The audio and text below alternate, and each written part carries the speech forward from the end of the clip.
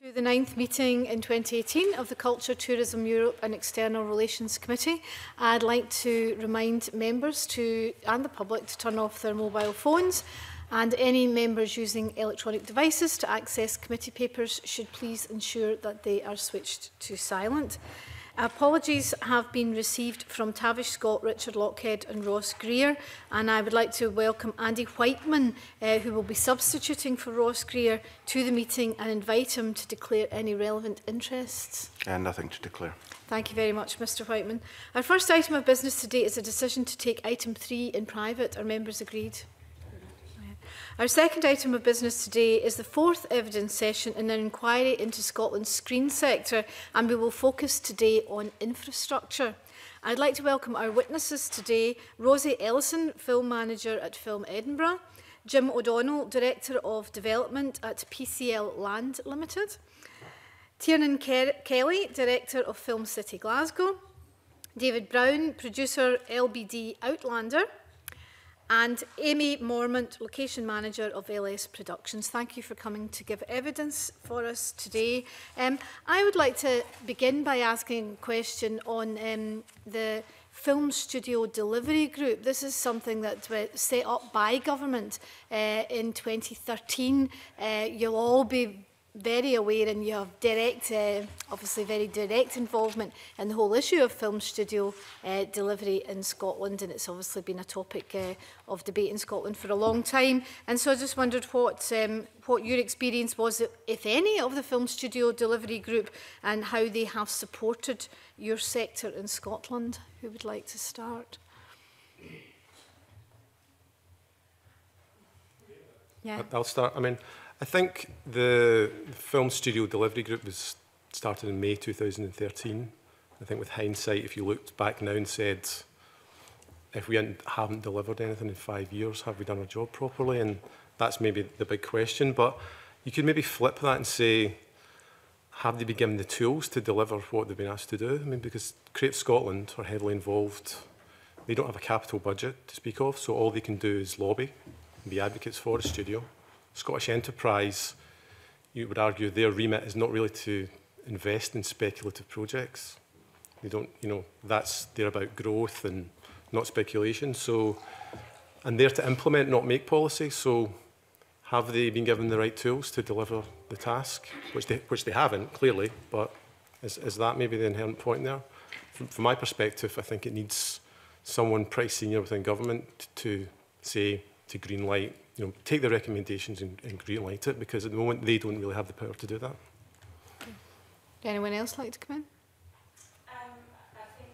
Um, from my point of view, um, although I don't have any direct dealing with them, just my awareness of them in the industry, it seems to me that although obviously there has been some uh, you know, a level of investment and, and investigation into Ward Park Studios that actually, from from my point of view, and I think from many people that submitted evidence, that um, for us it's not about having one solution. Although it's fantastic to have the facilities available at Ward Park, and that's a, an excellent beginning. They know that there are there should be multiple ventures and multiple studio spaces, whether that is adapted studio and purpose-built studios, and there's room for, for multiple studio spaces. So from my point of view and what I've read, um, although it seems that they have heavily been involved um, in the Ward Park development, um, you know, that that's not the, the sort of final solution as such um, would be my addition to that. I think I should say something about that as I have uh, been responsible for Ward Park, I guess, in that sense with uh, our landlords. There has been no investment uh, apart from the de minimis amounts into either Outlander or Ward Park. Ward Park has been developed completely with um, external investment, inward investment uh, from Sony and Starz, who are the parents of the TV show. I mean, we did have some initial interaction with the uh, delivery committee who came and visited us, but from our perspective, they helped us in no way whatsoever. And uh, I think in the end, we really just had to say we'd have enough of their visits and we had to move on. No contact whatsoever with the delivery group. Um, we had one meeting with Creative Scotland three years ago, two conversations after that, and two meetings with Scottish Enterprise. But on all occasions, um, they would not engage with us until we had planning consent. So therefore, we have progressed with no input whatsoever from them. Thank you. maybe add that, yes. you know, what, what you're asking them to do is because if you look, you know, in, in my submission, we, I described other types of studio development in the UK and they broadly fall into maybe two or three categories. You have things like Northern Ireland, you know, with North Foreshore and Titanic, which are entirely private sector developments that are part of wider uh, strategic developments in the, that area. Uh, you, you, you've got the news this week about, say, Dagenham, and everyone's like, really excited what Dagenham City Council are doing. But behind that, they're building 500 new houses at London prices. That's probably 150 million pounds of development. So are you asking the film studio delivery group to become private stroke mixed development users? Because that's really only, as I see it, the type of private sector investment in film studios in the UK at the moment. Secondly, you've got the, the other case, cases I put in terms of submission where where the Welsh Government has gone board with Pinewood and Bad Wolf Productions and has essentially bought premises and leased them back to the relevant parties. So are they going to do that? Uh, and then the third example was obviously, you know, which one we're keen to talk about later was in Manchester, where the City Council has just kind of took the reins and built everything from scratch, so or, or acquired space and refurbished development space. So, uh, to me, it doesn't seem that they're sort of hamstrung in a certain way. They're not allowed to do any of those those three studio projects I've just described. So should should the government be enabling them to do that? That would be my argument. Uh, at this point, that you know, the committee is very grateful for your very interesting presentation at Film City and also for, for Mr Brown's uh, tour of Ward Park, which mm. was also uh, very, very, very enlightening as well. I'd like to zoom in on the Pentland project now because obviously you've now got the green light. I wonder if you could, could tell us a little bit, you have made a submission, but I wonder if you could tell us a little bit more um, about where the project is, um, what delivery times are and, and why why the business model is, is right uh, for, for Scotland in your view?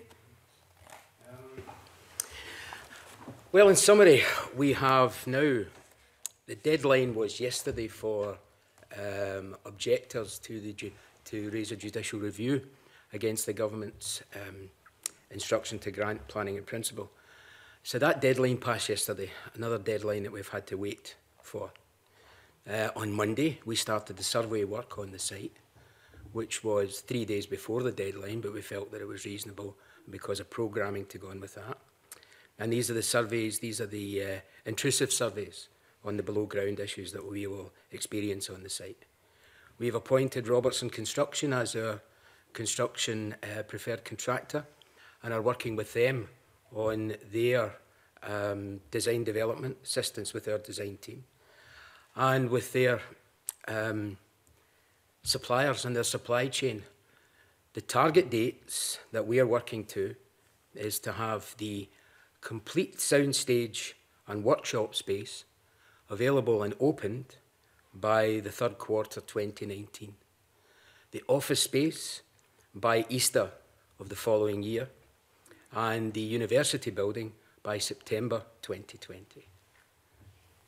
So when do you think it will be available for people to come in and make films? The third quarter 2019. Right, okay.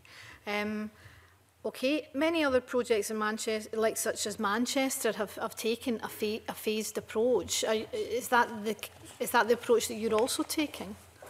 Yeah, I mean, the, the approach is being driven by the market. It's the demand that our marketing team has identified. Um, we are confident that within the next six months, when we can convince the sector that the studio will be ready, that they will commit to actually booking the, the stages. Okay. And certainly fr from the beginning, one of the things that you, you yourself have always said about the project um, is that it's very much a private sector led project. Uh, does that remain the case or will you be looking for public sector Absolutely. Support? It's a private sector led. You see, my experience is as property developer in construction. I don't make movies. My experience, I was invited to go and gain the experience to work at Warner's at Leavesden. So having identified the opportunity that was here in Scotland, we've acted as developers. So therefore, we haven't engaged with, we've engaged with the AFTPS and with Rosie and all of these other people to give us more or less the evidence that developed the size and scale of the studio and the buildings that's there. Over this next two to three year period, we will create the buildings.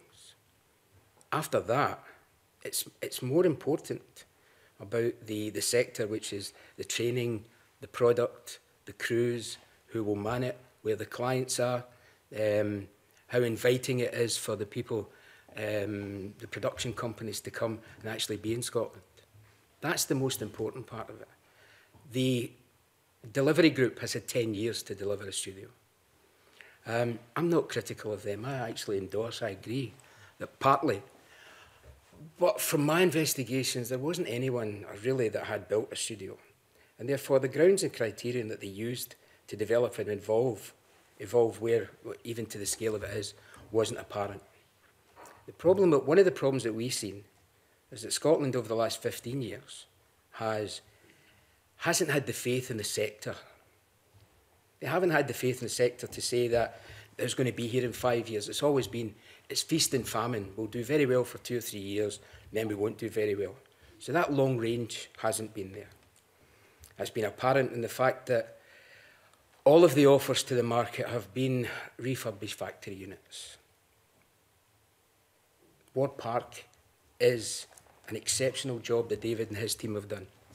But it's a conversion of a factory. But by the way, I was the project manager. I built it when it was iSolar. So I know the factory inside out. Govan Borough Halls to get Glasgow Film City. These are all make do. There was no, to me, vision of where it was going to be. 20 years ago, one of, one of the guys that I respect most in this whole industry, Dan Dark at Warner Brothers, was in Scotland looking at Scotland. And he came away. In fact, one of his comments to me was, as a Scotsman, went back from working there to come here, you never make it happen. Because there wasn't the appetite for it. But it was this long, it wasn't, it was the short sightedness. And the one fit suits all is not what we're putting forward. Our studio complex should be complemented by the likes of Cumbernauld, Glasgow Film City. There should be a spread. And if, for example, government takes on and supports it by making it a welcome place, you could have two of our size of studios in Scotland. Uh, you said if government takes on and supports it, but you said a few minutes ago that you weren't looking for you, government you, support. But that's not supporting the construction of a studio. It's constructing it. It's the support of the sector by way of taxation, by way of making it attractive for the production companies to come and use, by training the crews. All of that investment. That's what, in my opinion, is the investment should be. Okay, thank you very much. Did you want to come in there, David? Because obviously you are Matt. doing I it. think, I think you know, the thing about, uh, you know, a lot of what Jim says is absolutely spot on. I think the, the, the issue is that we have at the moment, we have this extraordinary growth in content demand out there, not just in Britain, not just in the US, in the world, by virtue of the revolution in streaming. The amount of TV that is required out there is now extraordinary. It's never been like this at all. So what's happened here with, with Ward Park and with Outlander is that first of all driven by this demand, but also driven by a desire to be in Scotland. We've seen an enormous amount of investment into that building coming through this show, coming through Outlander. And that now has created a legacy. It is not a one-off. The partnership that we've created with our landlord will go on and move and create another one of these studios that, that, that, that Jim is talking about. It is an issue here, guys, of political will. I don't see, the evidence is here. You've had it all from everybody else, from various parties across the board, coming through various meetings, various paperwork. There's no question that the Outlander effect has worked. Look at our impact on tourism. We're employing 250 people 10 months a year. We train 20 people a year. We're putting and delivering for you. If you attract more of these shows, the, the knock-on effect is incremental. And at the moment, the issue of someone like Dan Dark coming up, as Jim was mentioning, saying it can't work, is about, we have to look at ourselves as being an offshoot, uh, inevitably, unfortunately, from the main centre, which is London. The political will is about shifting that gear, changing that perspective and saying, yes, we want to, as a nation and as a country, build that, build that industry. And it's our choice. You can let it continue as a kind of a victim industry that's always got its hands out, always saying we need more, we need special breaks. Or you can shift the gear and attract businesses like Outlander. If you have two or three Outlanders a year, the amount of inward investment is staggering. It's not just, but it's not just about the building. The building has been an annoying, frustrating, tedious thing. I was on committees 20 years ago talking about a studio in, in Scotland, and it just ain't coming about. It has to be about you in government saying, no, we want to change it. We want an industry. We don't want it to be an offshoot from London. We don't want our people and our best of our creatives going to London and being sucked into the Indian national industry. We as a nation see it's important. We want to build the infrastructure, build the training, build the industry, encourage entrepreneurial producers, and shift the gear. Because Jim's building, with that enormous investment, requires a huge amount of a huge amount of product to come in and pay for it. Ward Park, the building is paid for. Sony have invested it. So Ward Park will always pick up business.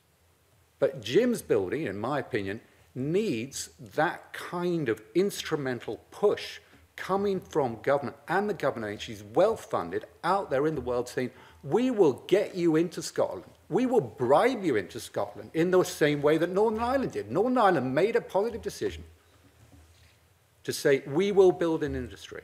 And they attacked it on all areas training, infrastructure, reputation, marketing to bring people in.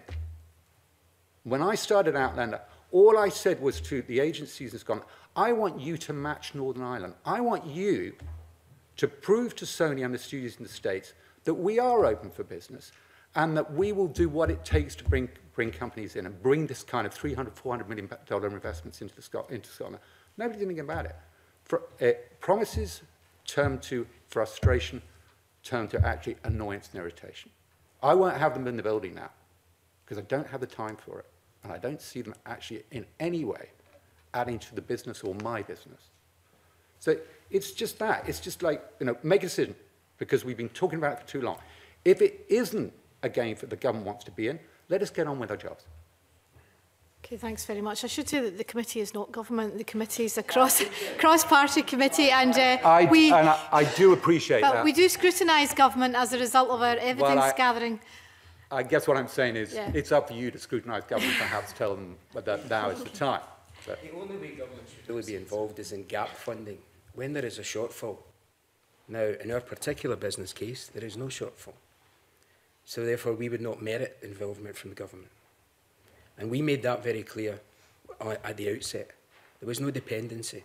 Personally, I'm tired of people holding their hand out to government and expecting government to pay for them to perpetuate it. Allow the market to decide. Rosie. Yeah, I just wanted to, to say also that another thing that Outlander has done is uh, raise the profile of Scotland internationally amongst the film community. We've had more high value inquiries from international productions than we ever used to in the past. Um, filmmakers who've seen Outlander or have heard about Outlander and now recognise that Scotland can accommodate that level of production, which we haven't been able to in the past. Unfortunately, of course, we still don't have a facility to put them in at this point, but it's great news to hear that um, the survey has started on Pentlands. Let's hope that that, that fills the timetable. We can start planning ahead and hopefully get some big projects booked in to that because the business is definitely there. People do want to come here. They're recognising that we have more crews here. We will, of course, need a lot more. And you've pointed out the training requirements, but also good news that the NFTS is set up in um, an out uh, a branch in Scotland now in Glasgow. I think that opens its doors uh, in April, so next week, I imagine, um, uh, which will lead to a lot more trained uh, crafts people, skilled workforce, we're going to, uh, you know, when the studio at Pentlands is open, there's an academy there, which I hope will train more skilled workforce as well. There's, there's a high demand for that, and that is very much something that the government, the public sector can, can work to support. Now, we have a, a few members that are specifically interested in asking uh, supplementary questions about the Pentland studio. So I'll take some quick supplementaries on that, but I'm not taking them unless they're about the Pentland studio. So um, Jackson Carlo. I should say, Convener, I've been an advocate for the Pentland position. I'm an enthusiast about it, and actually I've really been more excited than I am at the moment at the prospect that is coming about, really in spite of the establishment rather than because of the establishment, if I can put it that way. Um, I'm very, I, I see the detailed uh, sort of submitted plan that you now have got. I mean, the first thing I I'm noting is it's for a film studios. Because, of course, uh, there were lots of people who advocated that the minute there was a planning consent, what we were going to get was a housing development and not a film studio. So I'm very pleased to see that they've all been proved wrong. But you've got quite an ambitious timescale for this. Um, uh, you would have the whole project complete before Network Rail will have the new Glasgow Queen Street station building put up, and they started construction 18 months ago. So, uh, I mean, are you confident about the timescale that you'll uh, for all of that? Because it's it's a lot to have in place by 2020, Jim. These are not complicated buildings. The statements of architecture are basically in the academy and on the, um, the reception, the main administration building. The rest of them are not complicated whatsoever, they're repetitive. And we are confident, yes, that the supply chain is there. What's a water studio at one? Is that is that gone in the plans now? There was a, a water stage. There's in a the... water stage. Yeah. Um, it, it may come back. It may come back. Can I ask specifically about the academy? Because one of the things I felt um, when we visited Ward Park, and I fully expect David Brown, given that he's giving evidence today, to give us all the spoilers for the next season and uh, his evidence, but was the way in which crafts had been built up on site. There was the carpentry department, there was the wardrobe department, there was the uh, whole decorating department. Um, clearly, the intention of the academy is with all the production that's coming, and we've heard about, you know, we're only at the beginning of the streaming revolution. There could be even more content coming from all new streamers we don't know about yet. The Film Academy is designed to create opportunities for people in that sector to be employed. But I take it that will take time to come through. Uh, what was interesting was the number of Scots that were actually being employed at Ward Park in the production of Outlander at every level. Um, initially, how do you see the uh, film studio actually bringing in talent that, it can, that can be deployed from day one, or is that something that you think will, will build up, or, or are the skills there initially to actually satisfy the kind of filmmaking demand that you will be, that you will be satisfying? Hopefully, there's going to be a repatriation of expat Scots that are working in Ireland, working in England, Australia, New Zealand. We have 84 people that have contacted us asking to be updated and who are fairly highly respected as technicians in the industry. Um, on-job training is one of the most important things. As far as the dealing with the, the academy, the academy, first of all, was a real estate and profit-driven idea. We looked at the marketplace, the world marketplace, to say, where is there a hook so where, where could we find a university that was adjacent to a film studio? There wasn't one. So that was our first incentive. So it was driven by the profit and the real estate side. We approached Edinburgh Napier University because they had been identified as the Scottish Film Academy. We've been working with Edinburgh Napier University uh, to evolve the scale of the academy that's there, to fit into their estates, to fit into their uh, curriculum. Uh, I can identify one in particular. We are working with them to have a degree in special effects. There isn't one in the UK. And what there will be is, uh, if they can develop that, that would then bring in the students, the training. Um, really, it's a, it's a very, very broad base, the understanding of the training and the, uh, the requirements for the crews. Once the studio is built, crews will be required. The majority of these crews will be imported. They may even be stolen, David, from what's happened there. But that's, that's what the market will be. Um, mm. A brief supplementary. Uh, one of the things that I think uh, David Brown has identified and which uh, Visit Scotland have now you know, put together a whole tour program around the locations of Outlander is the huge consequential boost to sectors well out with the film and television sector in Scotland, tourism essentially, particularly coming from seven-year television uh, series cycles of some of these international productions as opposed to individual movies. I noticed the film studio also has a film studio tours facility. I mean, uh, do you see the um, establishment of this film studios here as potentially also initiating um, a whole potential uh, tourist opportunity on the back of the productions that potentially uh, find their home here, in the same way they have uh, with Warner Brothers elsewhere? Um, there is the potential for that. But if you look at Warner Brothers at Leavesden, the Warner Brothers visitor attraction is the Harry Potter. I mean, Leavesden was built on Potter. Um, Pinewood has a very limited visitor uh, regime that goes there. And that's been built on Bond uh, and is about to be completely rebuilt on Disney. Uh, I don't think that we will have a strong visitor attraction aspect of our studio because of the operational side, the security side. Um, it's going to be more that we would have to really consider that in detail. It's not part of our plan just now, is to have a lot of tourists going through what is um, a factory. Scotland could benefit from Oh, Scotland the location work associated with the productions that are being filmed Well, we in and around as well as in the studio itself. Well, we also have um, an agreement with the Abercairny estate in Perthshire, um, um, where we will be pushing that estate to uh, to provide different sets, different scenes, different um, opportunities for production. So it's not just about where we are in, in, uh, in Pentlands. Okay, well, good luck. Thank you. Thank you. Andy Whiteman, did you have specific questions about Pentland? Yes, thanks yes. very much, uh, Convener. Uh, you say the, you want the soundstage to be open autumn 2019, but the, the master plan here talks about a 64-week build and a 40-week handover, which means you needed to have started last September. Detailed design, and we have started that, yes. The construction on-site periods are um, being negotiated with our contractor at the present time, and that's Robertson Construction. Okay, and to be clear, PSL Land Limited, you're a developer, The developers, yes. so you don't own the land. We will own the land and we will own the studio. So wh- when are you going to acquire the land? Um, as soon as we have vacant possession. And what's, what's stopping that? at the present time, uh, as you are very much aware, Mr Whiteman, it's the small holding farmer who is in the Land Court agreeing with the Gibson estate and the compensation for the vacant possession of the site. And do you have any sense of how long a Land Court, potentially Court of Session, Supreme Court case on eviction might take? Um, we've been advised it's this June that the decision will be taken.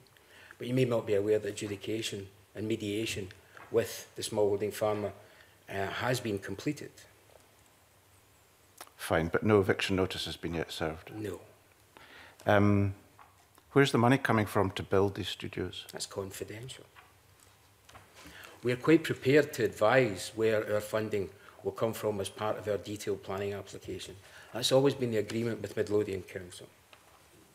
And um, if the statutory smallholder uh, decides to uh, defend himself in the Court of Session and ultimately in the Supreme Court. Um, that could take two or three years. That's his choice. Are you, you still in the game for building the studio in those circumstances?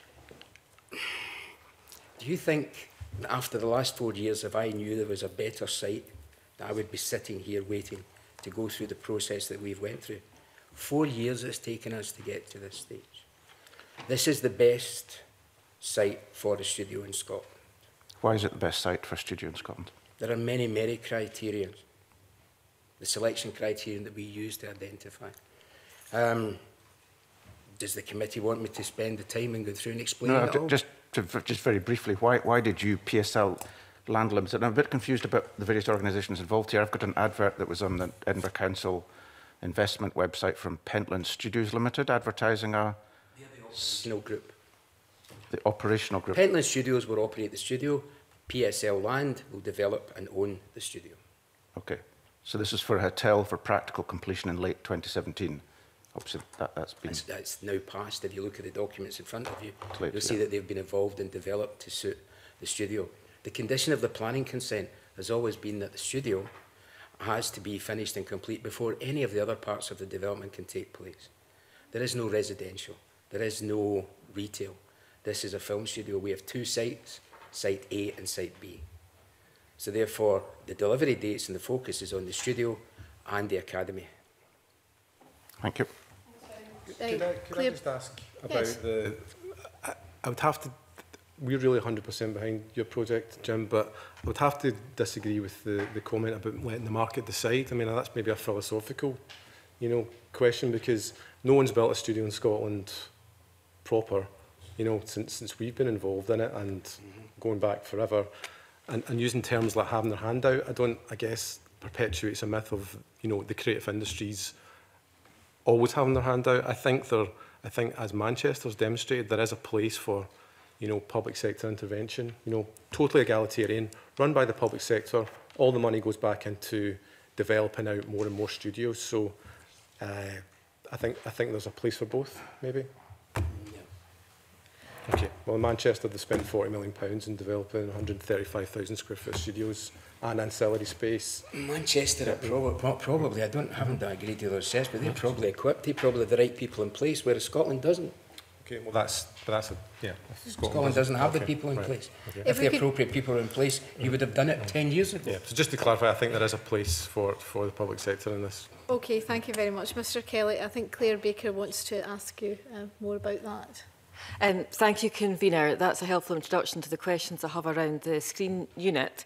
Um, the Convener asked about the Film Studio Delivery Group. What I'd like to move on is, is to the screen unit, which is due to be established on the 1st of April, and as I understand it, will launch in the summer. Um, their uh, proposal states that a business case and new studio capacity will be secured within 12 months. So there's kind of three issues around that I'd want to raise. Uh, the first is around capacity, how the panel see the additional capacity, what the requirement for that is. I know that Amy has described the need for a kind of variety, and we have the Pentland studio possibly coming down the line in a few years. Where does the role of the screen unit and their additional capacity fit in? Um, also, the, the business case, um, Tiernan talked about different funding models. You mentioned Dagenham, you mentioned Manchester.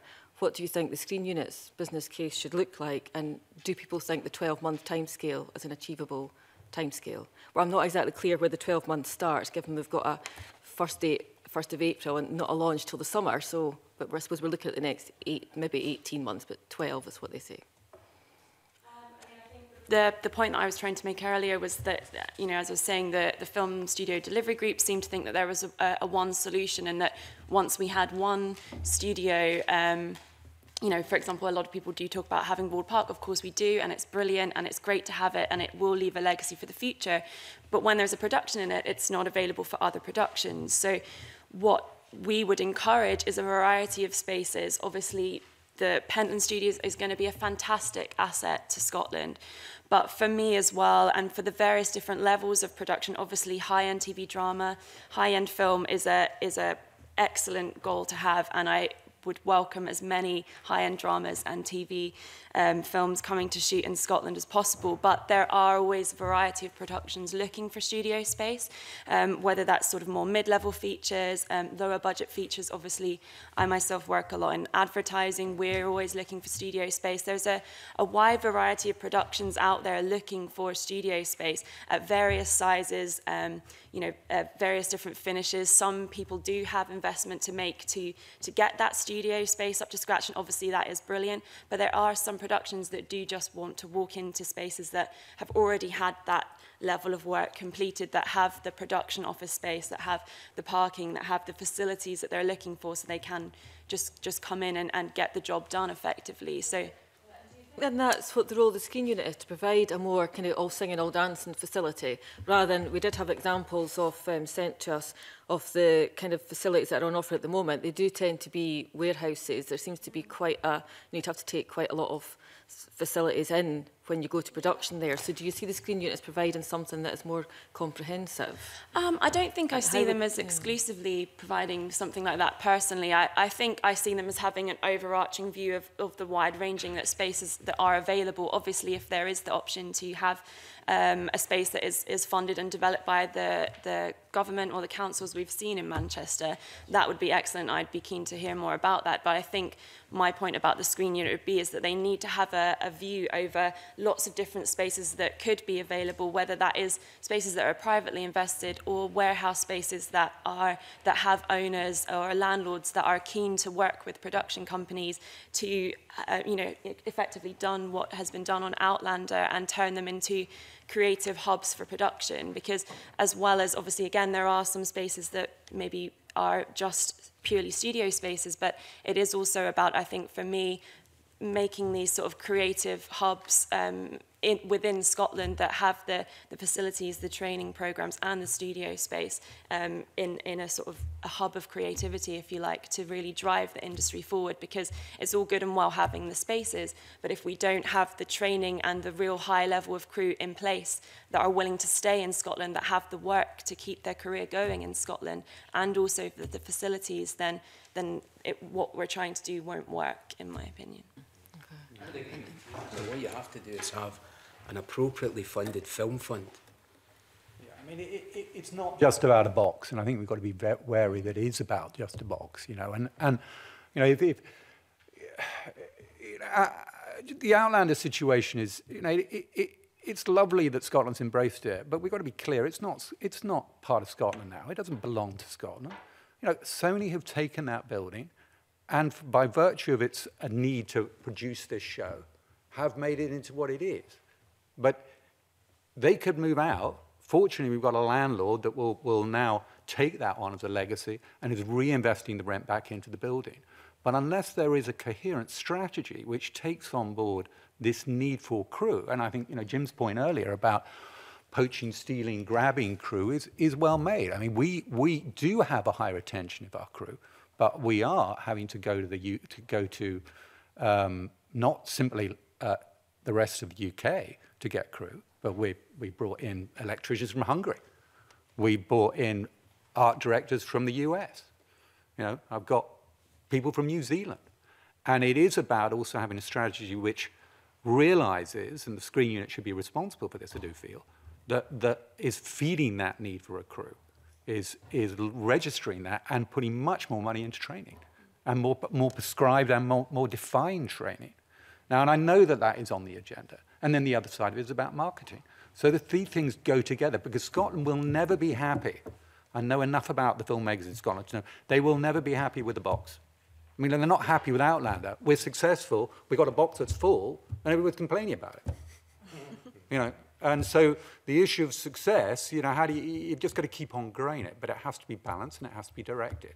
And being very well aware of what's going on with the, with the industry and that there is this incessant demand at the moment for content.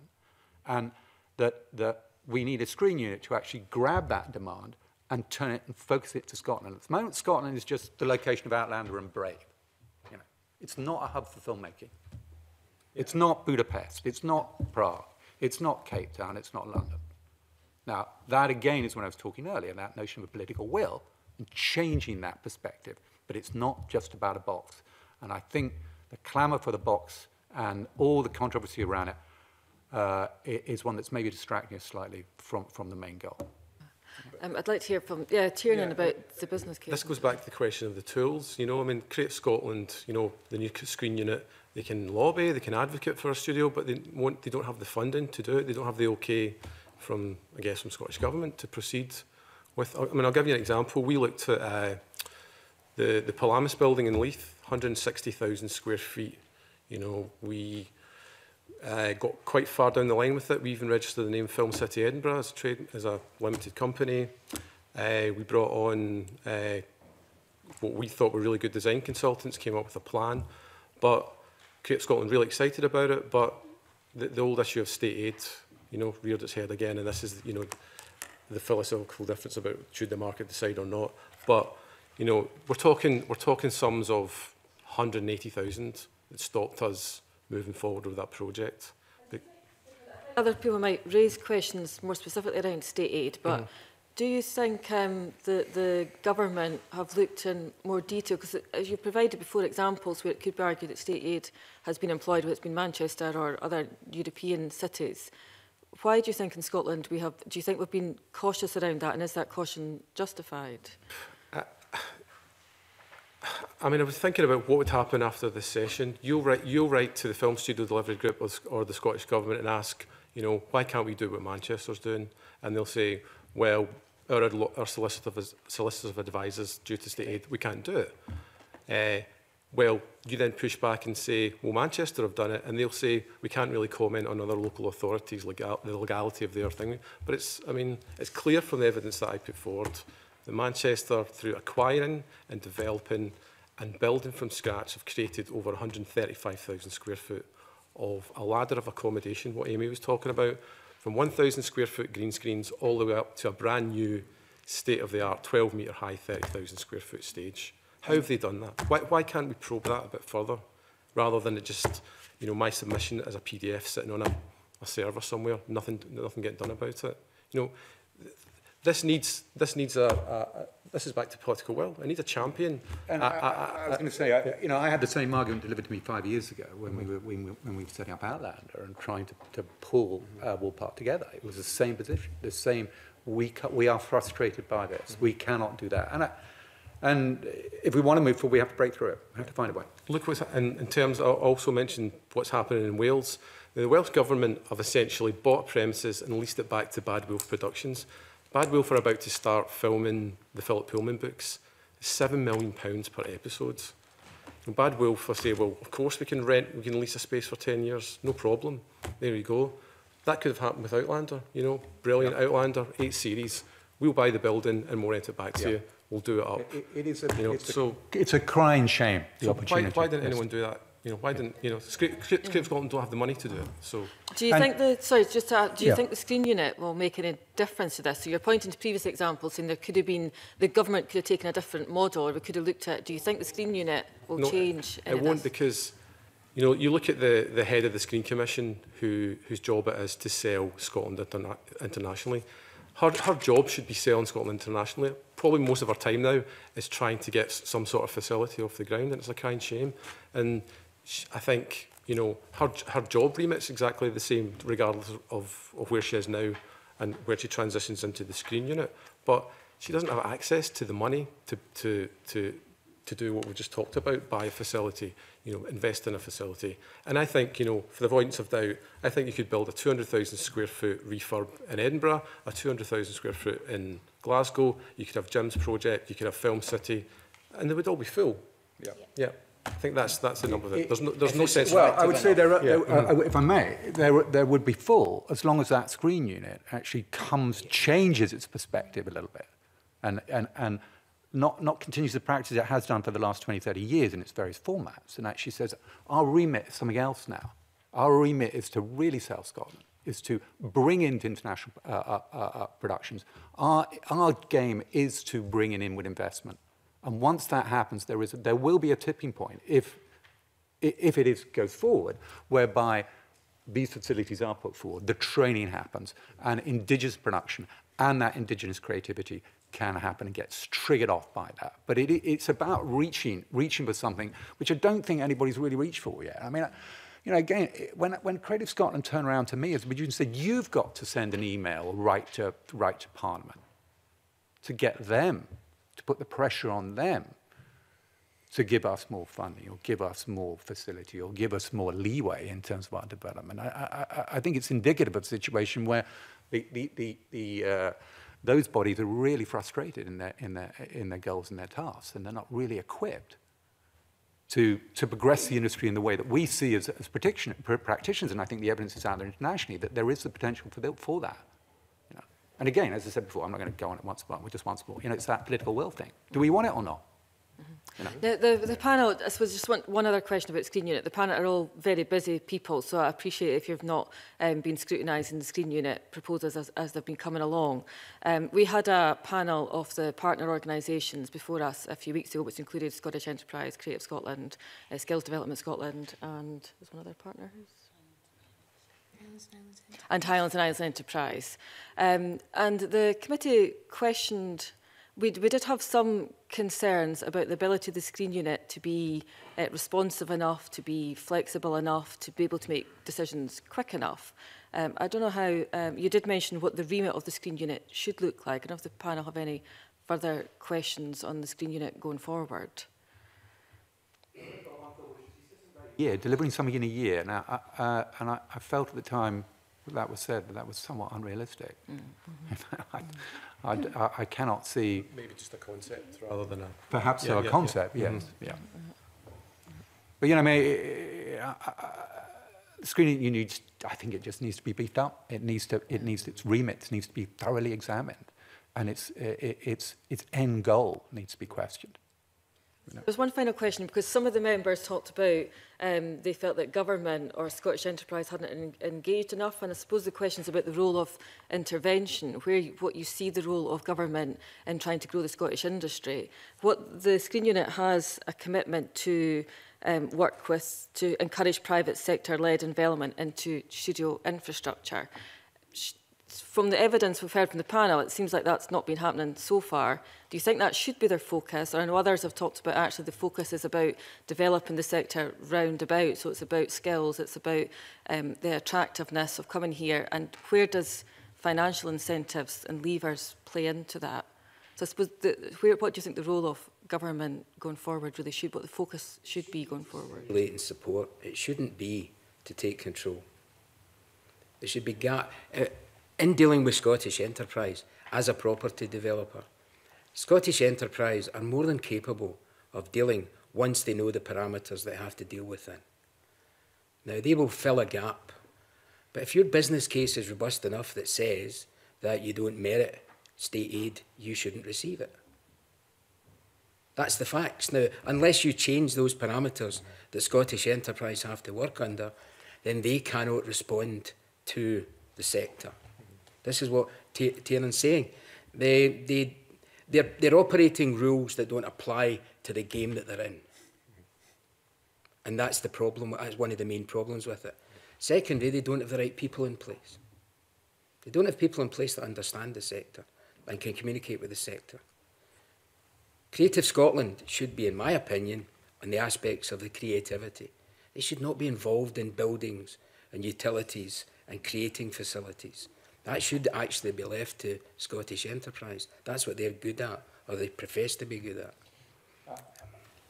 I'd like to put a different, a different, slightly different take on that, which is that I think that, that in the particular case of Scotland, it, I think Jim's, Jim's argument is well taken and well made in an environment such as London, where there is a, you know, a consistent history of you know, multiple number of studios and in excess of 80 or 90 stages in, in, in that building, in, in that area, if you like. The situation in Scotland, I think, is somewhat different. And the development of the screen sector in all its aspects is, is what is required if we want that industry to grow. And involvement in, in investment in buildings, involvement into investment in training and into marketing and into encouraging inward investment and indigenous productions is to me the, a wider remit that that screen unit should be responsible for. And, and, and it's not it's not simply a matter of buildings, or, or, but I do think it needs to happen. It should happen. It should help because we do have a, you know, the, the, our geographical and economic environment is susceptible to talent drain, to concept drain, to intellectual property drain, all those things leaving Scotland. And so we have to kind of fight, or we have to have strategy in order to pull that back in and to let that grow. And that is, I mean, obviously, in our opinion, it, is, it feels to be that it's something that we want to do and it's worth doing because I, and I don't think that the economic, the economic, the numbers say that. They tell us it's worth it. You know? Smith said in his presentation that, for example, the Netflix of the world, offering Netflix £100,000 an incentive to come to Scotland is peanuts. But it is there, it's incentive. That is what will trigger these major productions coming to Scotland. The facilities are required and will be required to be there. The, but they have to be made welcome, these production companies, to come here. And that is a business. They're a very strong... Tommy Gormley set up as well. Tommy Gormley said he, he, he gets up in the morning within 15 minutes, he either drives to Leavesden or he drives to Pinewood and he works in professional studios of a scale that allows him to do his job. That has to be created. That will be created. And there has to be a, a, a broader base of offer to these companies to get them there. The, the, the Golden Triangle in London is going to be very, very difficult to unravel. So therefore, the target that Scotland should be going, going back again to guys like Iain Smith is saying, is that um, why are companies in the UK going to Budapest? They should be coming to Scotland. So make it attractive for them to come to Scotland. And the attractiveness is in the business case. Give the film fund, or create a film fund of 20 million plus, and then arm the people in that film fund, people like Rosie, to provide the incentives to get them here and to stay here. We need pre and post production. You know, not just um, the short lived year hire of a soundstage in Pentlands. That has to be sustained. Other members in, and Rachael Hamilton. Morning panel. I'd like to ask uh, Tiernan in particular how um, he thinks that Manchester managed to circumvent the state aid rules. Uh, personally, I think they did it because their, their, their very strategic vision of... They stated that they wanted Manchester to be Europe's leading digital city by 2020, and they wrapped the whole of the creative industries and their digital presence around that statement. And they acquired the, the Sharp Electronics building, built the Sharp project. They clustered digital companies, tech companies, film and TV companies, and probably through serendipity, they had old warehouses at the back that lent themselves to film and television use. On the success of that, they developed the Space Studios, which again took over the Fujitsu Siemens factory in another part of Manchester. And this is all within a two mile radius of Manchester city centre uh, built 55,000 square foot of studios. That was a success. And then they've built, not, a refurb, not as a refurb, from scratch, as I mentioned earlier, a brand new 30,000 square foot studio. Plus the stage, not studio. St stage. stage, yeah, yeah, it's stage. Uh, plus they've also acquired uh, uh, another 80,000 square foot property that is specific for creative and digital tech. And all those companies fall under a company called Manchester Creative Digital Assets Limited which is 100% owned by Manchester City Council. So it's acquiring sites and it's building brand new, new buildings, all framed around, no, no one there was talking about we're building film studios, we're building TV studios. There was a much more sense of what the creative industries can add to the city's economy. Uh, I mean, one interesting stat, if you look at the recent D DCMS figures show that between 2010 and 2016, Scotland had the highest growth in the creative industries. And I'm going to tie that to a report that Olsberg did and said that film and TV is the greatest contributor to the creative industries. Uh, so if you tie those things together, we're the fastest growing sector, uh, nation, region in, in, in the UK for creative industries. Film and TV is driving that. You know, why, why can't we bring those two together? By 2025, there's going to be more creative jobs than STEM jobs. You know, it's, it's clear that they've, they've, they've grasped that creative industries concept and ran with it. So it's not where I think in Scotland we've been so tired to this concept of a film studio and maybe the state aid uh, um, and probably by stealth as well. I mean, Pine, the likes of Pinewood and other studios haven't really complained about the Sharp project because, or the Sharp Space, because it's what we try to do at Pacific Key, and it's in iterations, small iterations, They've now built up 135,000 square foot of studio space across three sites. I mean, I, I don't know what, what the, the, the answer in terms of pure legislation. Um, you, you've led quite nicely to the next question I had uh, broadly for the panel, which was about the statement that Manchester uh, City Council made about being a global um, digital city by 2020. Um, and I'd like to ask the panel, um, uh, because David Brown, when we visited the Outland at the Ward Park Studios, um, had said that the local council had been incredibly supportive. And I wondered uh, what role you felt that the, the local council, the regional authorities have within uh, delivering um, the, the screen sector ambitions the, the local council was supportive yeah. in everything but material. Mm -hmm. So they voiced support. There was, neither, there was no financial support in any way. Okay, so just, just clear to... Just okay, and on. so building on that, um, you know, the other models throughout Europe have been successful because of the council uh, obligation and uh, they've met with land and assets as well. So can we have a discussion about that?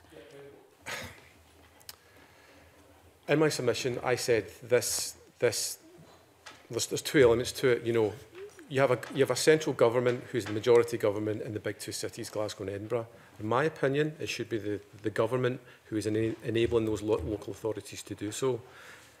And do you know what? We live in uncertain times. We've got Brexit, we've got austerity, etc. And if the local authorities don't have the money to do that, that's good. But what really frustrates me at the moment is that everyone in the public sector is hiding behind this, this state aid issue when it's, it's not. So it's either an economic one and we can't afford to do it, and that's fine. But if it's a legislative one, uh, we need to dig a bit deeper. I don't think it's a legis legislative one. I think it may be an No, economic I one. mean, Yeah. I, I, I think it's been used as an excuse myself. Yeah. I mean, that's, that's our perception of it. And, and I, I don't think there's enough evidence elsewhere around, around Europe, and as, as Tiernan brings in Manchester, to suggest that if you, if you want to get around it, you'll find a way. Yeah. You'll find a way.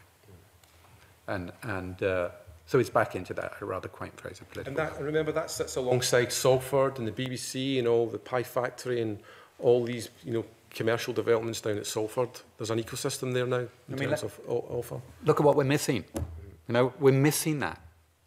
But at this time of str- growth in streaming, of investment from Sony just on one show of $400 million, we're missing it. We could have three of them, four of them. So I think those questions had to be asked in terms of a strategy about the film unit, about what is it? You know, where, where does it really want to go? Is it, has it got that, that ambition to build this sector in all areas, not just film and TV, whatever they be, all the creative sectors? And I think that's worth, that's really is the question, and, and what's standing in the way. And to me, uh, uh, personally, I think that when you read around the subject and you, you look at a lot of the different companies involved, obviously there, there are, as you were saying, you had the, the panel of them here not long ago, there were a lot of companies involved in a lot of different elements of the industry, whether it is training or funding, um, whatever it might be. And I think for me, the, the most important thing for the screen unit would be accountability and an overarching view of, of all of those things and an organisation that you know, no matter what other organisations are involved, has a view of everything that's going on, everything that's available to people that live and work in Scotland, to produ incoming productions, to Indigenous productions, so that they can actually have a, a really good view of, of what is available to people and, and pushing that industry forward. Because at, at the moment, I know as, as someone who lives and works here, I often it is slightly confusing for me about who do you go to for, for what element of, of what you require. And I think if you have a screen unit that,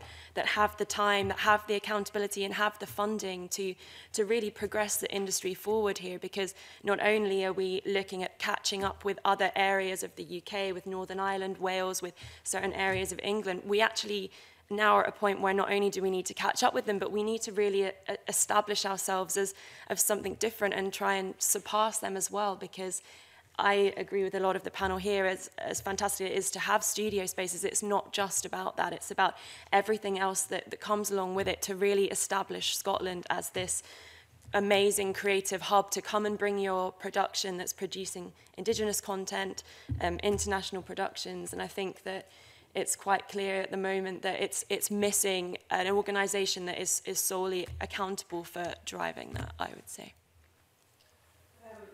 If we look at Bristol and Liverpool, um, but well, Bristol now has the uh, bottle yard, which um, local authority was very supportive about the development of that, but it was owned by the council. So they were in a position to be able to make that offer to the production community and get that off the ground.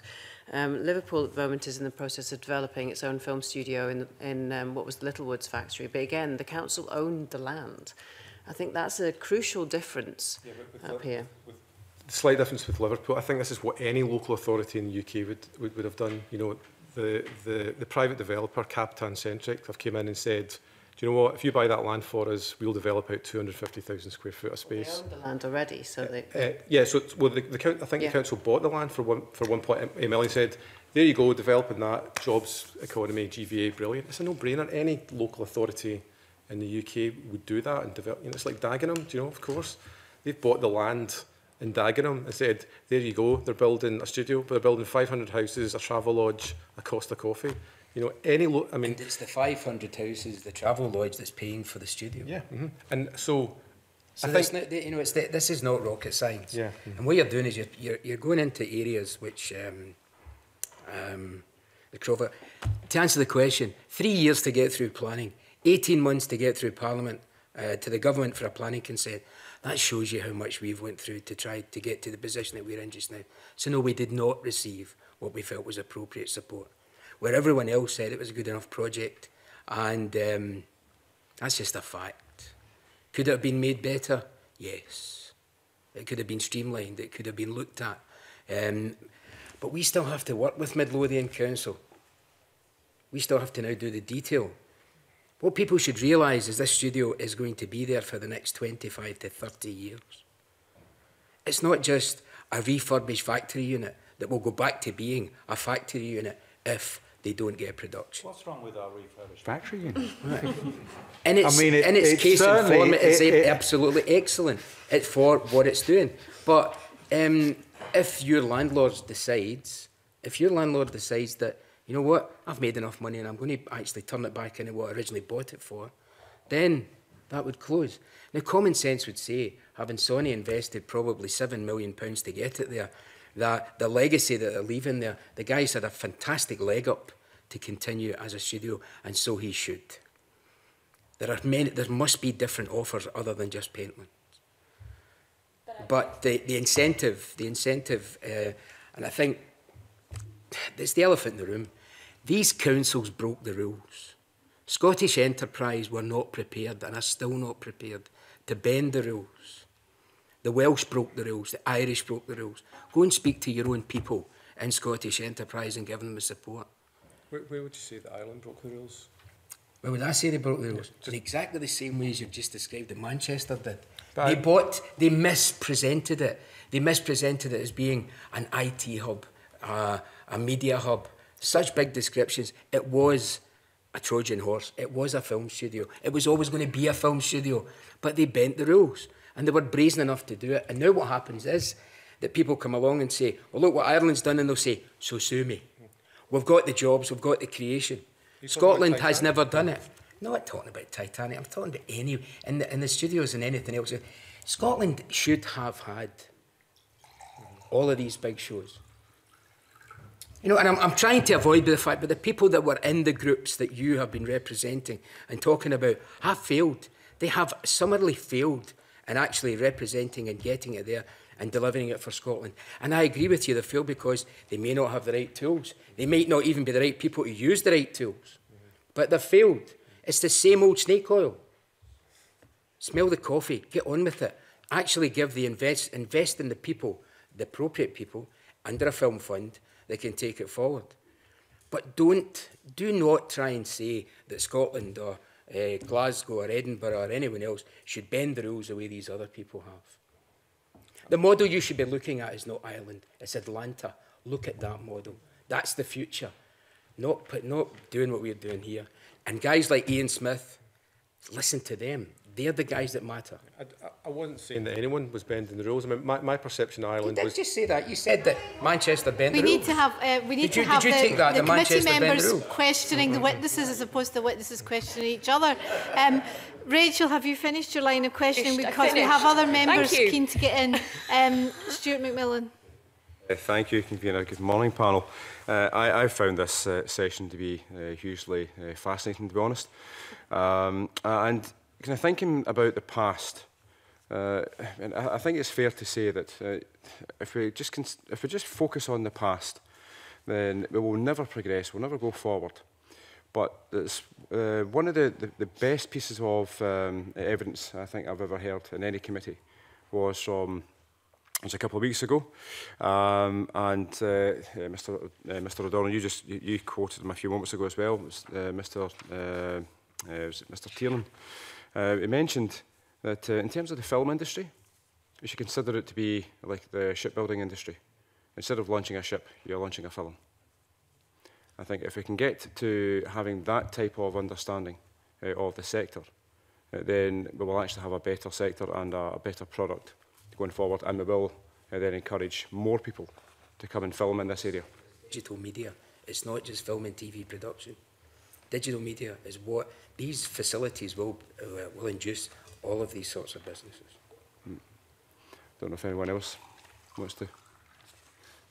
If you're using that analogy, um, you know, again, going back to what we were saying earlier, it's it's not just about having the spaces in, in the analogy of shipbuilding. You don't just have the building where you build the ship and expect people to come to you. It's about having the right staff that are trained in the right ways to, to build wor world-class products. And in the same way, in, in that example, you know, that's what it's all about for us here as well, is we need um, world-class crew and we need to have enough opportunity here that they're going to stay and live and work here because what we see more and more often is that unfortunately we have highly talented crew but they don't have the level of work here the volume of work here to um, enable them to live and work in Scotland. And I know many many people who are currently working down in London in all corners of the world that would love to come back and live and work in Scotland if we had the industry there that they feel that they need. And I think that we can't just look at it in terms of having these studio spaces as brilliant as they are. What the screen unit really needs to look at is the facilities that come along with studios, creating world-class facilities, post-production facilities, um, facility companies, and we also need the training programs um, you know, in the same way that productions like Outlander have done. Obviously, the National Film and Television School is a, is a great addition to the Scottish landscape. Um, we need more like that to bring people up through the industry so that we can sit here in 15, 20 years' time with a bank of productions under our belt, Indigenous and international, um, with highly trained crew that are, are making a living here and and launching those films out into the world, as you say. Jennifer industrial process that Tommy was talking about. I think Jim's project will will certainly meet that remit. That that's where your your high end projects yeah. will go. But you know, e even just you know what we do at Film City is a refurbished old town hall. But in the last six months, we've done a three million budget film and uh, a CBB show and a, and a upcoming BBC children's show. All modest set builds. So at that lower end of the market, you need fit for purpose space because you you visited.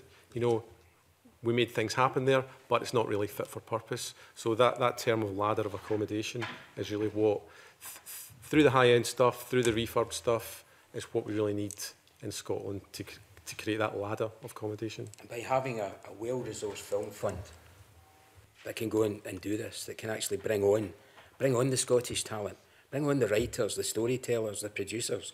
That's where the investment should be. Um, yeah, at, at the moment, the, the film and TV sector in Scotland is, is um, it's hit and miss, really. We've done very well with Outlander. Um, last year, we had a terrific year in the Edinburgh City region with um, Avengers Infinity War for seven weeks of filming, which took over Palamis building to do their builds in, um, and, but filmed largely, well, on the streets, as I'm sure you were all aware, with the various traffic management um, regulations we brought in. Um, we also had Mary Queen of Scots um, and uh, we brought in 16 million pounds of investment into the city region through having these productions which were not based in Scotland. They came in, they shot what they needed on the loca on locations, they hired some local crew, they used our hotels, um, and then they went away again, uh, not leaving a legacy which we would have liked because because we didn't have the tools. You know, having having more studios in Scotland is like having it's it's it's the um, it's the knives and the cutlery in your cutlery drawer. It's it's it's what we need to to create content regularly to give people regular work here. Um, but this, look at the, the fact that what was it, 170 million came to Scotland could have been 450 to 500 million. Why? Because it didn't have the facilities. Now it's going to have the facilities. That's a foregone conclusion. These studios, the Our Studio and the other renovations and the, the other will happen. It's how it's going to be sustained that is more important. Ms McMillan, that notion of industry and the shipbuilding, and I think, you know, and, and launching a film, and I don't want to make it too simplistic, but, you know, it, it is this issue of, of do we want an industry?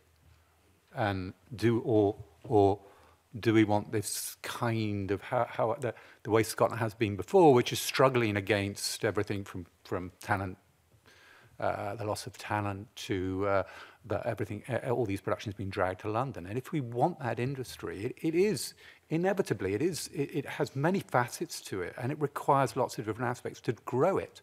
But, and I think, again, what Tim and the research that everybody's put into here has shown the value of it. And I, and I feel that, that, that that task about building an industry in the film unit is, is perhaps hitting the right note. It, it, it's, as I say, it's not, we know it's not about the box. We've said all that. It is, it, is, it is about what is our desire to build this industry and how do we do that. And you know, the industry itself will grow it. We will grow it if, if you guys, if whether, you know, whoever it may be, if the government agencies, if government itself will make a choice to say this industry is worth supporting because the shipbuilding's gone. We know all that nonsense. All that's gone. We know all that. It's now about saying, what, what, how do we want this industry to grow? Now's the time to do it. Hmm. It's, it, it's let, and let's find a way. Find a way to get around state aid restrictions. Find around, a way to, around to get around the London centricity of it. Find a way to get around the, the, the crew aspect of it. Hmm. And work on those things. But if we pursue this notion of a box, we'll be, we will be sitting here 10 years because uh, there's too many different voices, too many different qualifications. We've shown it, we've seen it. I think build, the, build the industry. It certainly does start with the studio, and I know watching some previous sessions, Tommy Gormley put it really well when he said in the same place that you know, Parliament is a place of work and people come here and you, you come here to, to meet and talk and work. That's what a studio effectively is for people that work in the film industry. You need a, you need a, a, a starting place. But then it's everything that right. comes... We need projects. We, no, we, exactly, need, we need that's... projects. You know, the building will fine. The issue is getting the business into the country. But if you don't have that in the first place, it's saying if there's no space where productions can actually base, what you're getting at the moment is productions that are coming up here and actually, you know, for maybe a month up to maybe four, five, six months at a time, doing everything else that they need to do in London or other parts of the world where there are studio spaces where they have this place of work, then they're coming up here for the essential locations that they can't cheat anywhere else, if you like, that, you know, you can't cheat Edinburgh anywhere else, you can't cheat the Quiraing anywhere else, Glencoe. They're coming up here to get those bits and then they're leaving again. And that's what's not leaving a legacy here. And because there's no studio, they're not basing here, then crew aren't being trained up, um, facilities companies aren't developing, post-production houses aren't developing. It's, it's sort of stagnant. And I think that's, that's what we need to really focus on is all the other elements. Tommy Gormley had said that if he calls up in Scotland and says, I want to produce a film in Scotland, uh, who does he call? Now, that question was not answered. When he calls up, he gets referred to three or four different people, and there are different, uh, four different departments, all of whom have no authority. So that's the first thing. Get the right people in place, and the right people under a focused screen or a media sector within, if it's going to be within Creative Scotland. So it's a root and branch change that's got to happen. You've got to get the right people.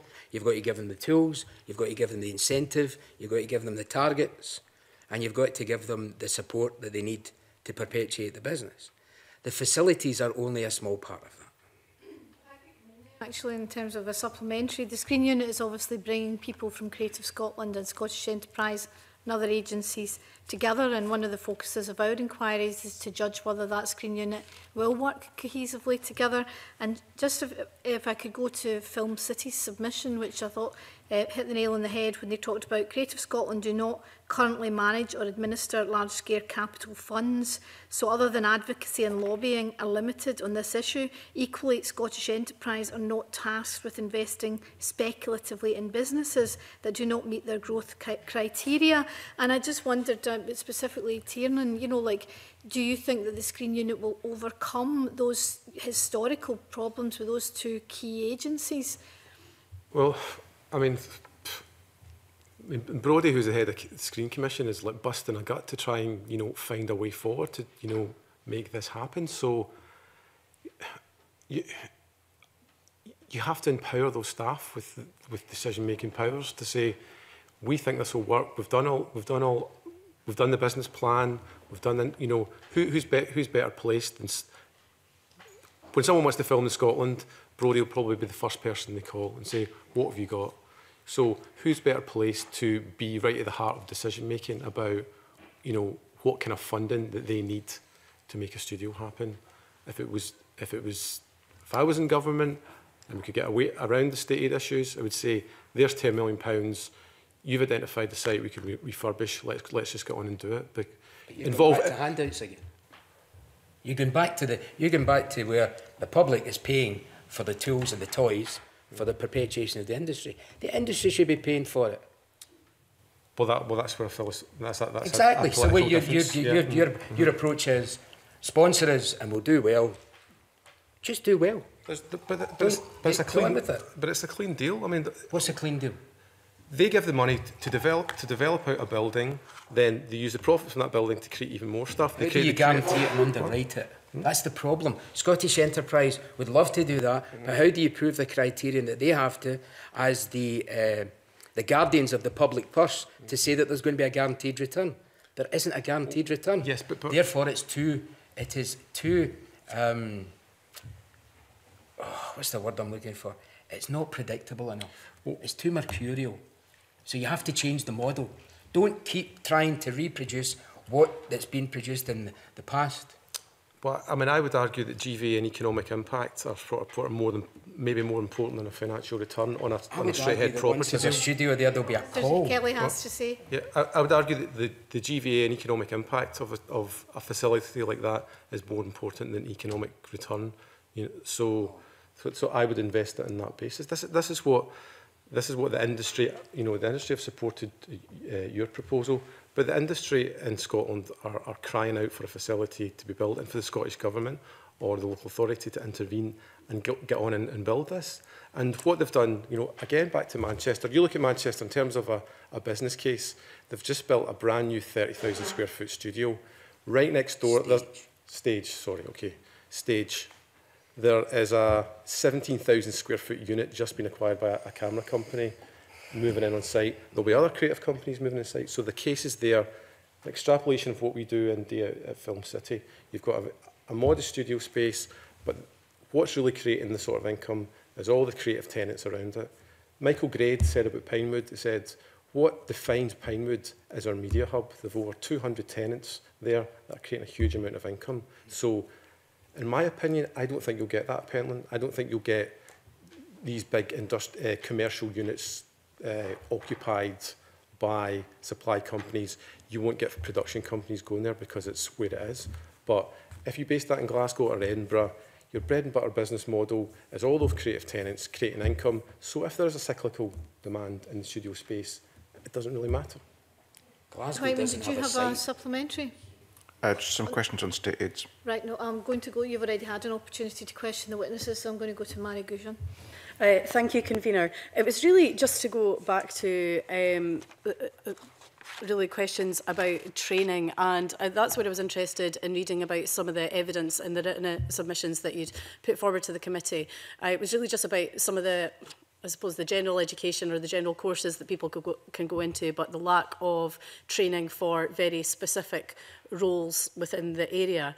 And it was really just to, to tease that out a bit more. I mean, do you would you say that it's fair to say, is it fair to say that I suppose there's a, probably a general lack of awareness as to the the wide variety of roles that can sometimes be available in the in, in the industry. Uh, do you also know what the can you tell us a bit more about what the relationship is like between industry and education as well? Is there feedback either way as to if there's a specific need for specific roles, how that ties in. Are we making sure that we're getting people into the correct training for that so that our training is modified to allow us to produce what we need? Starting the process, I think there's still a long way to go. I mean, our experience is that we, we, we, we are now working with other training bodies that exist within the industry with minimal specific and targeted way. And we look at our own workforce and say, well, what are our missing elements of it? And we try and feed those, feed those areas. I'm not sure that there's the link between education and the industry is well enough developed yet. I think, I think that can still, still going on, but uh, you, you know, news like the, that's the, the, the National Film School standing up in Scotland, and all those things help. Um, and, and I think now it is getting targeted, but it needs to be accelerated, and, and the focus needs to be kept going on it. You know, they're, they're, because, you know, but it, and again, it is, it is scale dependent. Outlander's, the, f- I think, the first show in Scotland, for example, where we're starting to make, for example, for what, fibrous plaster. Know, that was hardly used in Scotland before in terms of industry. So as the industry grows, demand increases into more specific and more, and if you like, more varied, disparate roles. And we're trying to see, identify those and fill them. Now, and across the, but it's the same across the industry, not just in Scotland. For example, the, the lack of accountants within the film business, film TV business in, in, in Britain is, is, woeful. So we target it, we've just got to increase it. And again, again I think that we're going back, uh, that, that, that screen unit has to have that under its wing as well, because I think you know, the, the one thing that is missing uh, uh, perhaps in, in training area at the moment is, is, a, is a coherent, a more coherent uh, path for it. I think all the groups that are involved with it uh, do work well together, but I think it could just be just be pushed on more. It just it's just growth more, more, more, pushing that on a little bit more. If that helps. That My experience of sort of certainly younger people that are trying to come up through the industry is that they have perhaps um, studied film and TV or perhaps they haven't. If they have, it's, it's generally quite a broad training that they've received with quite a focus on perhaps um, directing or screenwriting, which is absolutely brilliant. And if, if you can make it as one of those things, that's excellent. But I think what we certainly miss is um, very specific training courses. And as we've said, the National Film and Te Television School coming in, I was having a look at some of their courses last night. It looks like they are going to really specify introductions to certain departments, which is great. I know that larger productions have started sort of taking on people and, and sort of bringing them up through the ranks, if you like. But certainly at the moment for us when we are hiring and crewing up for productions we do notice that there is a, a gap for certain um, departments certain positions that we're looking to fill because people aren't coming up as much through the industry here as they are perhaps in other areas of the UK and perhaps it is because there is confusion about you know whether you've studied film and TV or media or not. How how where do you begin? How do you start to get into this industry? What points of access are there for you. And, you know, I, I do, I, I don't envy people that are trying to sort of make it in the industry here and, and work their place in the industry out. Um, I would personally welcome more um, training programs, whether it is working directly on productions or more theoretical training programs that, that really give people the specific training and experience of, of what they need to make it in certain departments in, in the industry. Because unfortunately, although we will always try and, and hire Scottish crew first, we do inevitably then have to start to look at other areas of the UK for people that we can bring in on certain productions, particularly if there are maybe one or two big features or TV dramas shooting in Scotland at the same time, because then all that crew is soaked up and we're suddenly having to look elsewhere for, for other talented crew. that one thing that, that strikes me is obviously going through school and education myself, you just, and it's only really been through this inquiry and speaking to a variety of different people involved in the, in the industry, you realise the sheer scale and number of roles that are involved. And I think that's something that is I feel that there's uh, maybe a general lack of awareness, but I think also that what's been important about this inquiry is it puts a focus on we see how much this could be worth to Scotland and the potential that's there. And I think that there needs to be a greater awareness uh, of the value of the industry as a whole and, uh, and more importance placed on that.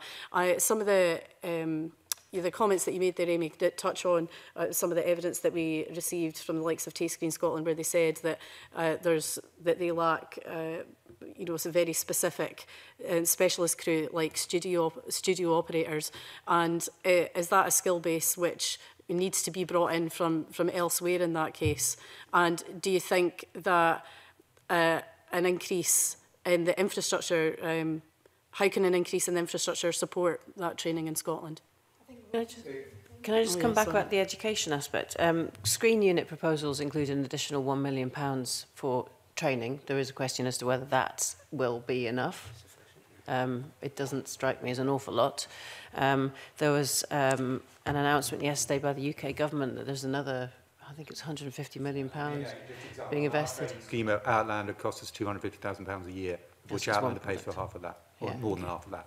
So, so there's further money made available yesterday, some of which was earmarked specifically for education. And I think your point about um, awareness of the a huge variety of different roles um, at a, a school level is something which is lacking. And I know it's come up in, um, I've been at events with Creative Skill Set and they are aware of this. You know, you don't go through school thinking, oh, I want to be a, a set painter. You know, you, you, don't know that these jobs exist, and yet within the film industry, it's like the army. There are thou- there are well hundreds at least of different types of very specific jobs with different kinds of skill sets. I think awareness in schools these days is still very much about I want to be a director, or I want to be an actor, and and that's about it. But you know, you might be um, particularly you, you might enjoy cooking and and there are jobs for you as a mm-hmm. as a cook within the film industry or perhaps mm-hmm. you're you're you know you're interested in hair and makeup. Or again you know it's not something that I think school children are aware of and yet there it, it's something that really needs to be grasped and I think creative skills is beginning to look at this. yeah, it's I mean, really important. you know just anecdotally we can have out on days we can want 60 makeup and hair artists on Outlander of which we might have to bring up half of them from from the south of England. So specific skill. You know, just because you go and do uh, hair and makeup training and you maybe work in a salon, it's not the same. There are, Absolutely there are not. very specific skill levels that are, uh, that are applied to the film industry in particular, and therefore it is something that school leavers need to be need to have in their minds as, as, a, as a possibility that they could go and train specifically for the film industry. So I, it's one aspect of a very broad approach if we want to grow this industry. Okay, thank you. Uh, Andy Whiteman, did you want to come back on something? Uh, I just want to ask a few questions about state aids. Right, okay. Um, can we get back to state aids? Because there seems to be quite a bit of confusion around all this, which is not really helping the conversation. Um, the Manchester project is run by the City Council. They're the sole shareholder. It's a municipal enterprise. Um, municipal enterprises are common. The City of Edinburgh Council runs a very successful bus um, business. The state aid um, um, problems that were identified by the government to the previous um, Economy, Energy and Tourism Committee back in 2016 um, were focused on two things. One, the state providing assistance to the private sector. That's not what Manchester is. And the second was where the state and the public sector invest in a project like a film studio that it should operate according to the market economy operator principle. In other words, it should be a business. Now, if the money is available, if the finance is available, if the investors are available uh, in, uh, to build a film studio, that's, that's one thing. If we want the public sector involved, it seems pretty clear that the model to adopt is a municipal enterprise, wholly, share, share, wholly owned company of City of Edinburgh Council or Glasgow City Council. It's not for the government to get involved in that. I mean, the government owns Prestwick Airport. It's a sole shareholder in Caledonia and McBrain. It's a sole shareholder in Scottish Water. But those are different beasts altogether. So would you agree that the choice really is a municipal enterprise leads on this, operates within the market, totally compliant, or it's the private sector on its own, and they we put to one side the question of whether the state provides public support to the private sector because that's what got Valencia into problems. Well, I, I, I, I was just being maybe over optimistic that, and, and this has not been party political, is that the, the central government uh, as, as, a, as the SNP. The SNP are the majority in Glasgow and Edinburgh councils. You'd think, you know, from an outsider's point of view, there was some sort of common sense or chain of command that could make this happen at local authority level. And that, that's just my personal view on it. You, you'd think there was maybe that joined up thinking. I'm not, I'm not here to have a go at Edinburgh City Council, Glasgow City Council. Glasgow City Council have been brilliant with Film City. Edinburgh City Council helped us a lot when we're trying to get Pelamis off the ground. But times are tough. They don't have, they don't have the money. But Manchester does. That's a fact. But all, all my point of contention is that there is a way to do it. So why are we keep, why do we keep talking about state aid? I appreciate there's a difference between government and uh, municipal level, but you would think, from an outsider's point of view, there was a conversation to be had to enable a local authority to do this. Are you not the enablers to, be, to allow this to happen? Is there not some ex again from an outsider's point of view, is there not some extraordinary activity or money that you can give to a local authority to, to, to do that? There is, there is money that government is mm. giving specifically to local government in the city region deals. I'm not aware of any proposition through the city region deals anywhere in Scotland that involves building a film studio. Have there been conversations? Maybe it's time to have those conversations. May, you know, may, maybe now and, and, and, and part of the remit of this screen unit is to try and facilitate that conversation, to di direct it so that the local, you know, one of the city authorities can take that task, but being assisted and directed by a central body. Different cities have different priorities. I mean, Manchester's obviously got this real focus on you know, this huge legacy of Manchester and the, the creative industries. You know, that, that's, that's its focus. Other, other local authorities might have different fo focuses on, for whatever reason. I, I, I would imagine, fr from our dealings with Edinburgh and Pelamis, I know I didn't get the impression they had that sort of money to, to spend on this type of projects. In Glasgow, you know, they've invested in Film City, but they had the Commonwealth Games, etc., etc. I, I don't believe that they, they would have that kind of money either. My view is that they should be investing in the production companies and the product, not the facilities. The facilities do not merit state aid. What merits state aid is the product. That's what's needed. There is no state aid in the Manchester project, no. as far as I'm aware. It's a business. It's run as a business that Manchester have decided to invest in. So what of Edinburgh or Glasgow? They've decided not to. So move on. Yeah, so you're right, Andy. Yeah, there, there's no state aid. They've taken a decision as in a local authority to do that. My comment was, it, it, it's, it's just baffling that a, a, a government in power can't influence a local authority of the same party to make something happen. That's, that's from an outsider's point of view. Whether there's a, the process to do that or not is another thing, but as a citizen of Scotland, I find that baffling. Yeah, I mean, local government is, a, is autonomous. It makes its own decisions. There may be commonalities in the parties in control, and that's up to those parties what they do. As, uh, and this comes up with, with the screen unit and the, the um, Screen Sector Leadership Group um, uh, requirements that data is a, is really key here. I think you know the local authorities. I know Edinburgh was looking at you know whether or not they could whether they could take the risk and run a film studio, but the data wasn't sufficient to. It, they just didn't have the data, and the council is not. They're not property developers. They're not film studio operators.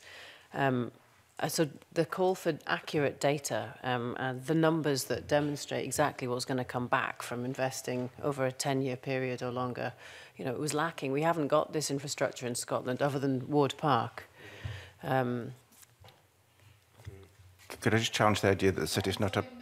I'm going to have to stop you there. You've had quite a bit of time already. Um, can I ask members, I know we've gone over time with witnesses, have you got another 10 minutes or... you all okay?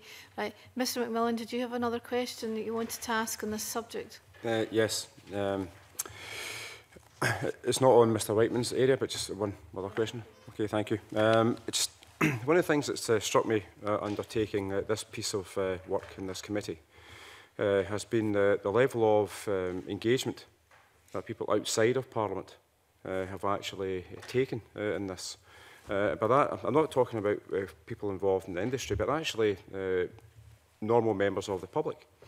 Uh, and I think going back to kind of where we've been over the course of the last 15, 20 years uh, and beyond, having this discussion about what type of sector should we have, it, does, the, does the panel think that, uh, that the wider uh, public, the, the wider um, members of the public, the general public, are actually uh, more uh, understanding now in terms of what this particular sector could actually bring to the economy in terms of jobs, in terms of opportunities, uh, as compared to uh, any other time uh, beforehand. Again, going back to the, you know, on the Outlander effect, I would say yes. I mean, uh, when, when our landlord receives the letters from local people in Cumbernauld saying, thank you for what you've done with that building, you've turned this crumbling old shed that sit there empty into this building which we can be proud of. I think we are seeing that shift. And again, when Outlander now rolls into town with its inordinately large circus, um, we are welcome. People see the business opportunity that we bring. We can, we, actually, we do change. We have clearly had impact on various communities where suddenly business have grown up in our wake. Uh, not least our impact on on uh, on uh, on the National Trust properties and historic Scotland properties. So I, I'm aware of it. I think I think that within that kind of social media drive now, people become more possessive of the shows they like. So they begin to think that they own them. That creates a slightly different issue, um, but we won't go into now. But I, I'm aware of that very much so. I think there's a lot more pride taken in the fact that Outland, for example, is, is made in Scotland. Just looking at another example, um, there's a, a show called Nashville, which was made in Tennessee a few years ago, where they have a studio, obviously. Um, they uh, reported, you know, th they quantified the impact that it has there. Nashville has a state sales tax as well as a county sales tax, and they can see the amount of money that's been returned to the state as a result of film tourists from the success of that series. So, um, for instance, they made um, uh, $63 million worth of state sales tax from Nashville Motivated Tourists, or NMT as they are referred to, um, $20 million of county sales tax revenue from Nashville Motivated Tourists, and $1.2 million worth of state, state sales tax from international travels, travelers who went to Tennessee having seen the show. And this all comes through beds, hotel beds, um, from restaurants uh, because there's tax on everything, so they can see exactly how much is coming back in in a in a financial capacity from visitors who have gone to that place as a result of a hit series.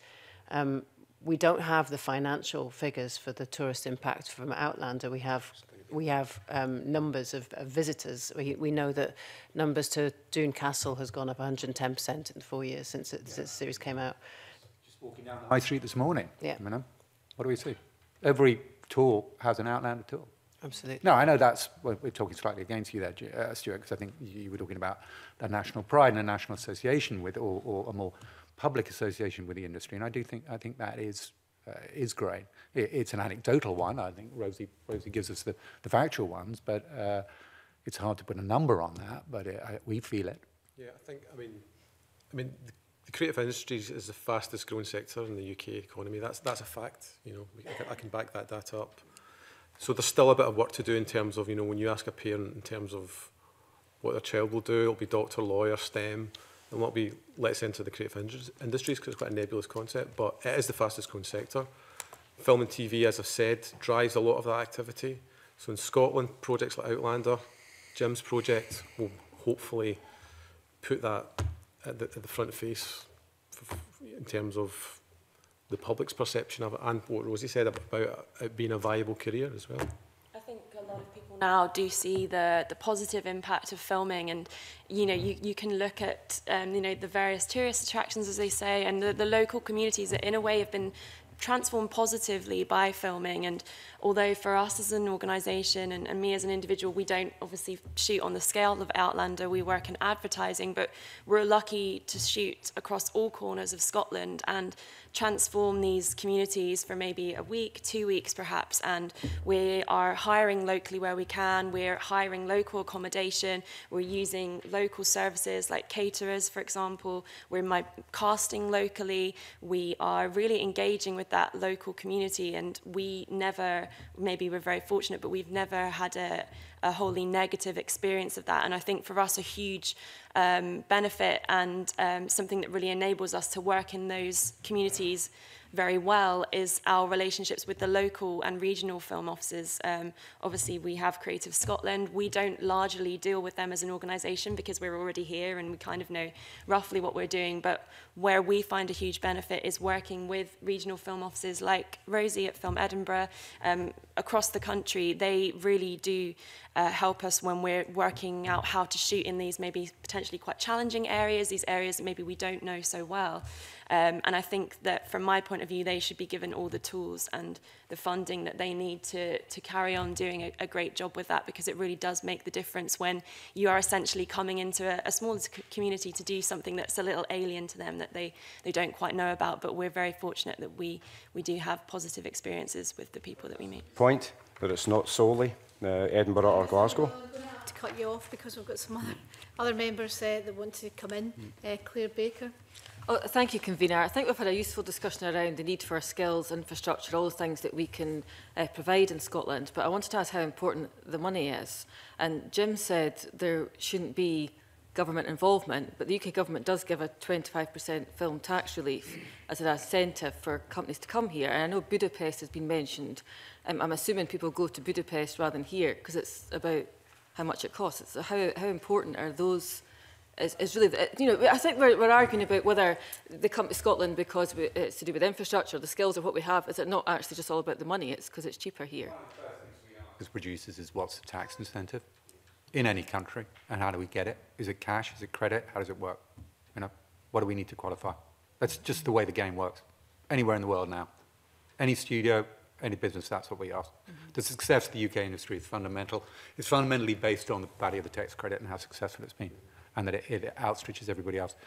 The, the, you know, the other hubs in Europe, whether they be Prague or, or Budapest, uh, uh, are, are also about that tax credit coupled with you know, local facilities and, and local costs there. And Budapest's success in comparison to, say, Prague was because Prague got on the train later. They got on the train later. They had a wonderful industry. Their tax incentive wasn't put in place. Their, their government wouldn't do it for many years. And Budapest pushed ahead, forged ahead, built more studios, increased their crew, increased their business excrementally. And, and Prague is only now catching up.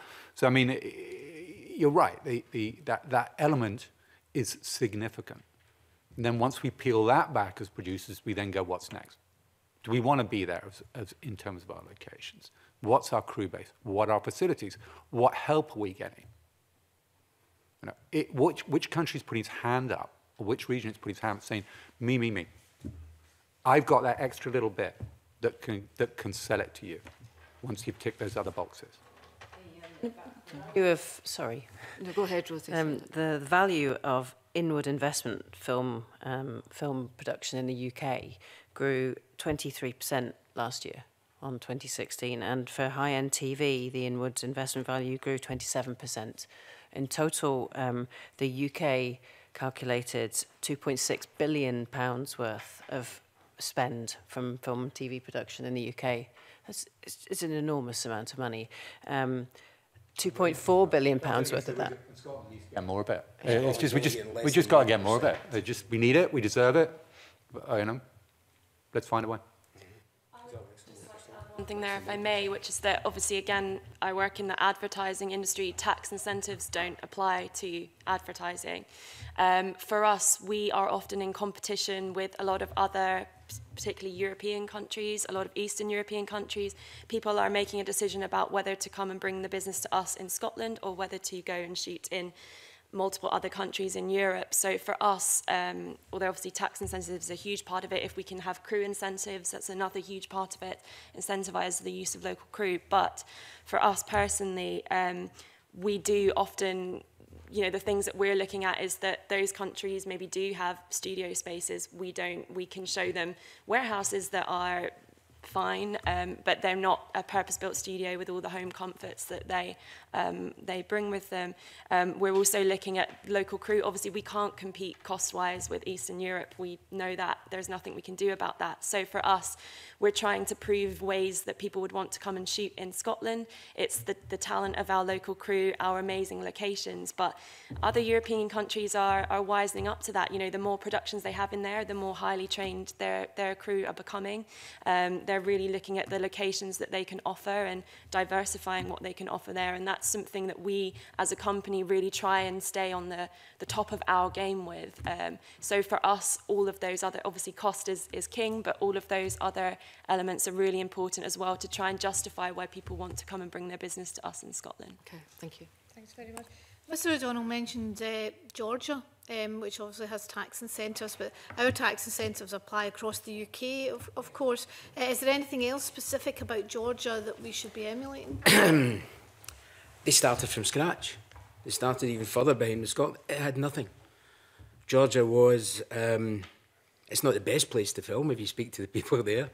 Relative humidity is very high. The costs are very high. Um, but what they have is they welcomed the production people to come. They offered the incentives. I think Tommy Gormley had said that at the present time, if the Scottish government decided to drop the tax or improve the taxation don't have control over tax. But eventually, as Tommy had said, this is where the, the eventuality of having your own industry.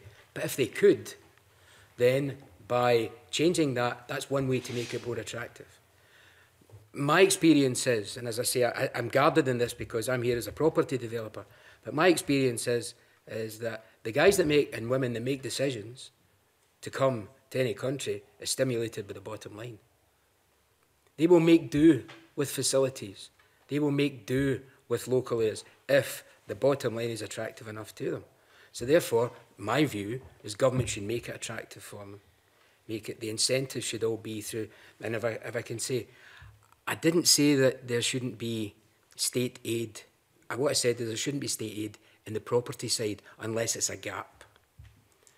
But what there should be is that, uh, I'll go back on it, put a, a sizable film fund together behind the people that can work it to incentivise the productions to come here. It's a terrible statement. Build it and they will come. It's the old, you know, anecdote that comes through the movies. But it's going to be built anyway. Move on for that. Actually attract the folk to come and use it now. And more importantly, to keep coming back using it and to do pre and post production. Not just to come here, do what they have to do, and then they'll go back. I mean, Rosie had mentioned the Avenger movies.